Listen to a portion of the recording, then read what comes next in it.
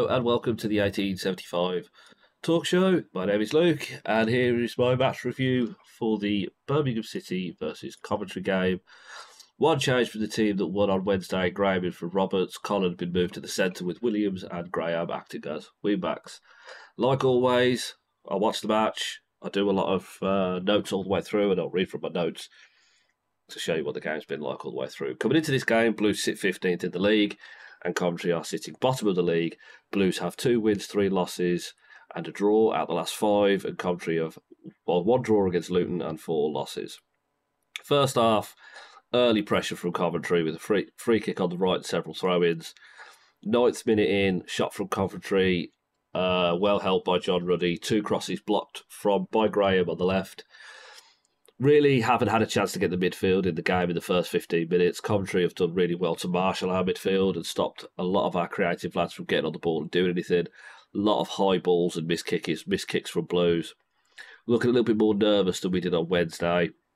Uh, another attempt, uh, from, say, from outside the box by Hamer. Ruddy spilled, but Williams cleared. That was the third shot from the same area that Coventry have had. Uh, the Blues really needed to close them down, but unfortunately we didn't. Another shot just outside the penalty area for Coventry. Again, Blues are not closing Coventry players down. We're leaving them a load of space to get the pass the ball and get shots off. Chong had a shot from outside the box, but it was rising from the second he left his foot. Uh, Graham, oh no, hang on. Blues were seeing a lot more of the ball at that point. Um, Graham had a cross into the box. Bacuna header, but keeper saved it. Much better play from Blues. Better build up with a lot more patience. Another long range effort from Ben Sheaf, same range, same position as the last ones. Blues really need to identify the problem. From what I could see, it looked like Chong and Bacuna were moving forward while Bielik was staying back and was doing a bit too much ball watching and left a massive gap in between. And Coventry were just taking advantage of it. Lucky escape from Blues where Graham lost the ball excuse me, uh, Coventry took a cross from the right as Bielik kicked it towards Ruddy, and luckily Ruddy managed to get from one side of the goal to the other and stop it from bulging in the net. Matt Godden, another shot from outside the box, went over the bar. Again, another shot from the same place. Blues really needed to just survive the first half at this point. Between this game and Wednesday's game, it's chalk and cheese. It's the only thing I can really think of. We're leaving way too much space in the midfield, giving Coventry too much space to make a pass or make a shot. Blues really lucky up to the second half, up to the half time, not to concede. We do not look like the same squad to beat Albion on Wednesday. There have been moments of good quality, but 90% of the momentum have been with Coventry. From what I could see, Changa Bacuna are heading forward and Bielik is being left behind. And it looks like Coventry are just exploiting the gap between the midfielders. Really hadn't seen much from Deeney or Hogan in the first half, but the service to them have been there. Hopefully, during half time we could rearrange and play a bit better. We came out the traps a bit better. Uh, a lot more, a lot more fight in us. Still showing too much impatience to get the ball up. We need to be calm and try and build on it and pl- play the ball instead of just instant passing. Corner taken by Chong. Sanderson headed it cross back to goalwards and a shot by blocked by Williams. Uh, with an early cross on the left, headed by Hogan, headed by Hogan. Keeper only just stopped it. Much better from Blues, showing the composure that was needed. 53rd minute, there was a yellow card shown to Ben Sheaf for a foul on Chong. Bacuna to take a free kick. Unfortunately, the ball ended up in the stands and Bacuna ended up on his arse.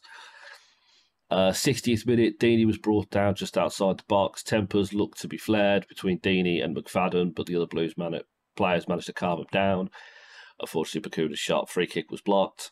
66th minute, Bacuna came off for Hannibal Mejbri. Uh, first time in the second half, at this point, the Coventry had actually been in our half, but Blues happily cleared. Much better play in the second half, better build up. They're not leaving that space between the midfield like they were in the first half. Hannibal did a blazing run on the right hand side, but was taken out by Jonathan Panzo. Yellow card was shown.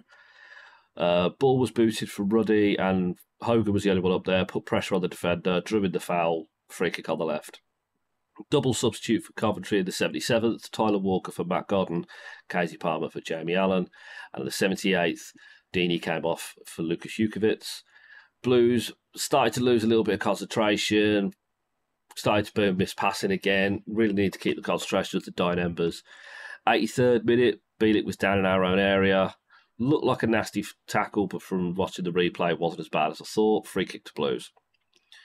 Blues have worked much better in the second half. Bit of a miscommunication between Graham and Chong in our area. Ball finally cleared. Uh, tempers were flaring between Bidwell and a couple of players, a couple of Blues players on the right, and then free kick to Coventry on the right hand side of the halfway line. Both Sanderson and Dabo were shown a yellow card in the 87th. And then in the 88th, Hamer was sent off for a kick in the face about against Hannibal Mejbri. Uh, looked like Hamer came in for a tackle on Hannibal. Both went down, and Hamer just kicked him. In, looked like he kicked him in the face, so he was sent off for violent conduct. After that, Blues just really piled the pressure on. Um, corner for Blues. Williams, ball came to Williams, who passed it to Graham inside the box, and Graham on this turn kicked it, booted it sky high. I think that was just because of the youth of Williams was showing through there. Didn't want to take the shot, possibly a confidence issue. I don't know. Blues piling the pressure on the last couple of minutes. Loads of crosses, loads of crosses in the box. Dukey with a great header, keeper saved. Hannibal held onto the ball really well at the corner and, and corner. Chong with the corner, Trusty kind of, I don't know if he kicked it or kneed it or shinned it, but he shinned it goalwards and the keeper just dived down and palmed it out the way. Everyone in the stadium thought that was in, including myself. Uh, then Chong, with the last moment of the game, was a shot, and again, it was on the spin and it just went upwards. Um, I'm happy with the clean sheet. I'm happy we didn't concede. I'm happy we didn't lose. it definitely fills out quite well for what we've been through. You know, second half was much better than the first half.